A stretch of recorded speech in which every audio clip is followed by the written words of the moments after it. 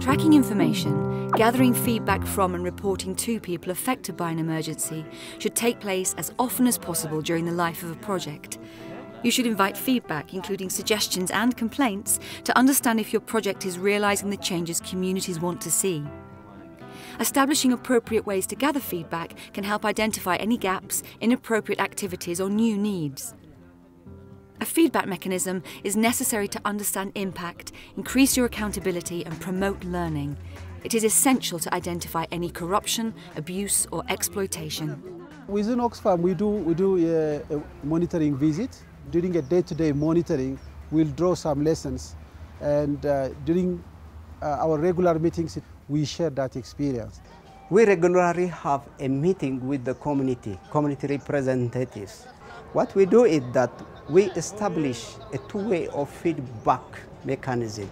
We give all feedback transparently, appropriately to the community timely and with adequate information we give them. The accountability is to be give the accountable to the people for whom we do work. That's the accountability. And that can be made by sharing information and acting on the feedback. What you do, we share it with the people in the ground on a barrier, so with the banners, through microphones, and, and through group sharing, all these kind of things. In the programs where we have um, a stronger level of community participation and accountability mechanisms, we see that the impacts are much more stronger and the empowerment of the community is much more stronger and they would have much more voice and the confidence and, and the ability to come forward and, and make some comments. You know, priorities were much more effective in terms of targeting, for example, because they participate in them. Um, sometimes they say, you know, this is not a priority, you know, and that really strongly contributes to the effectiveness of, of, of the programming in terms of achieving our impacts as well. Uh, they have the right to participate into the, the program development, into the, into the development of all the ideas, the priorities, the targeting and everything. It, it is their rights. And most importantly, if they have complaints, they have the right to come to us and then, and then make some complaints. And then we have to really follow up with that complaint and then give them a feedback.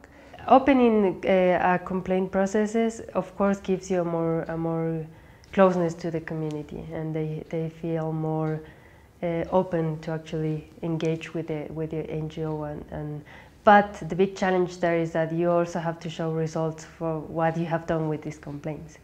And usually it's not only op opening the floor to, to any complaint and then doing nothing about it. So that's a big challenge for us and our teams as well. In Bangladesh, NGOs and their local partners support the formation of project implementation committees to oversee the delivery of aid after natural disasters such as Cyclone Aila. These committees also provide essential feedback to the NGOs on how well they're doing. ওদের কাছে আরও তুলে ধরতে হবে যে latrine এখন আস্তে আস্তে মানুষ বাদ হয়ে গেলে ঘরে ফিরে যাচ্ছে কেউ কেউ। এখন তো শুকনো মৌসুম দেখা শীতকালীন। জোয়ার পানি উঠতে না সব অনেকেই মানে যাদের বা ঘর একটু একটু থাকার মতো জায়গা আছে তারা তো যাচ্ছে। তাদের লেট্রিনের উপর সেখানে পড়ে যাবে।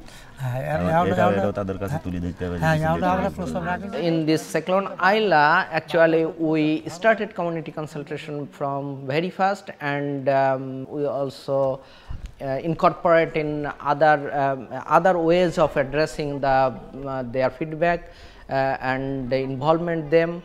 we formed a community committee, we call it PIC, Program Implementation Committee.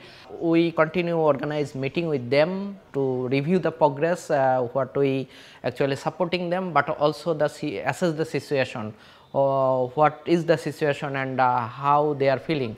We need to heard, uh, heard the voice of the people, we need to involve them, uh, we need to create leadership uh, among the people so that, that they can take it forward. And the particularly the complaint uh, in other terms its feedback is uh, actually need to get uh, get their feedback and address it very well. So, in this way actually we had chance to actually assess that how much actually we are doing they now feel more comfortable, more uh, easy to come to us uh, with their uh, comments, with their feedbacks.